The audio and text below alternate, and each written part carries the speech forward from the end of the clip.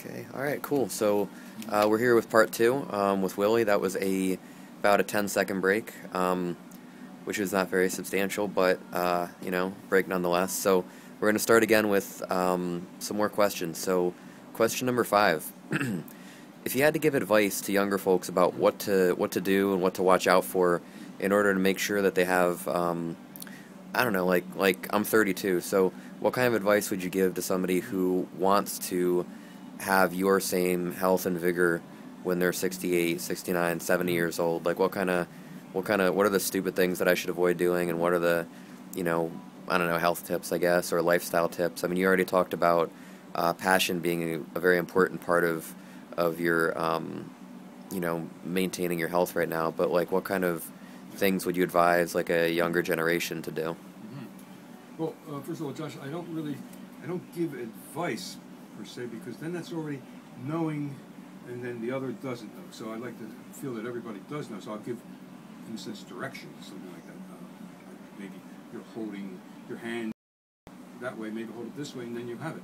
So something like that. So I give direction with it, and I, and I guess I'd say that uh, eat carefully, don't get over full. Don't overeat, in other words.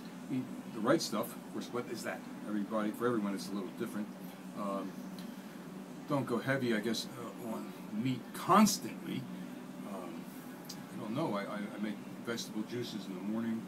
I eat pretty well. I, uh, my my downfall is I eat a lot of like sugars and what have you, or things that turn into sugars, which aren't so good, I guess, for you. But so far, I've managed well. I just was. I think I got a fairly good clean up bill of health last week from the doctor. Said you're okay. Other than I said my I got scrunched with um, on my chest. Uh, he said no, you're fine. It'll just go. And I said. Well, here's a quick question. Sounds good. With uh, you mentioned with um, earlier that you know you were a vegetarian when you were younger, and people used to break your balls about it all the time. Um, what like are you still a vegetarian, or you eat some meat now, or? No, I, I yeah I was. By the time I got to be about twenty, Josh, I, I got so hungry. I went to Europe and I, I was so hungry. I was starving. So you, you start to eat whatever was available in a sense, and of course uh, included meat. So I do include meat now, but I'm always a little careful, not only uh, high quality meat, but also how much I'm taking in. I, I, think over the years, that meat, dead stuff in your body, unless you eliminate well, which again is the whole key, uh, elimination and circulation. So you get those guys going well, you're probably okay for another, um, you know, to 100, something like that, all depending on that person. But if you overindulge, let's say uh, you don't get enough sleep, uh, do good bit of alcohol, uh, carouse around a lot, uh, have, I can't say impure thoughts, that's foolish, but in other words, where you're just constantly bringing yourself down instead of rising up. And, so, like more positive thinking more kind of positive, stuff? Yeah, yeah. Uh, we all have all sorts of crazy thoughts, and that's fine. Um, but you just have to be able to channel them and, and direct them well so they're always working for you. Otherwise, you just become, it's just like digging, digging that hole. You're just digging a hole yourself. You're digging yourself in the hole. You don't want to be in there.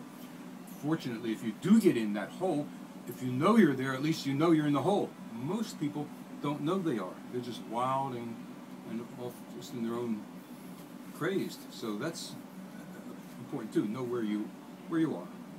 Right. So like you know, like a lot of people think that like they're they're just kind of cruising along and they're okay because you know they they eat a crappy yep. crappy diet and they they think a certain way and they you know drink a lot or do a lot of drugs or whatever and they think yep. they're okay but they're they're in that hole that you're talking about right. and they don't even realize they're in that hole. Right and while you're young they say they say uh, the adage uh, youth is wasted when they're young but then you could just say youth uh, is wasted. So you don't want to waste any time. Uh, you do have you know time is very precious. Uh, when you're young, you have all the time in the world. Oh, I can do this, I can do that. Uh, maybe yes, maybe so. But as you get older, then you realize a lot of stuff you've done, you've wasted your time, or uh, you've just put the stuff in the wrong place. And now, try to get that back and be, fo- you know, be focused, be, do what you need to do. Maybe it's more difficult. So, do some martial arts. Get with the program, so to speak. Uh, check your passions out, and uh, I guess that's you know that's kind of a, a start, I guess, and, and, eat fairly well. And I do see a lot of people eating well too, but a lot of them are caught up with, I guess, the high tech uh, in this world now, which is which is upon us, and I, I don't know. Uh, you need to have your own replenish your own thoughts, so you need to be able to think, be a thinking reed, as they say. So how do you do that? There's that question. How do you, how do, you do that? I don't know. For myself, uh, I think because I've I look at books, I listen to music, I don't get too much information that I can't uh, assimilate myself and, and rehash and bring to another level with. So I keep it that for myself. I keep it that way, so I'm okay. But if I if it gets too much information and it's not me and I don't know what to do with it, it's just information coming in, then it doesn't mean anything to me, and it'll just be a detriment to me. It'll slow me down. It's like uh, putting axle grease on the wrong on the rubber. It doesn't work. I gotcha.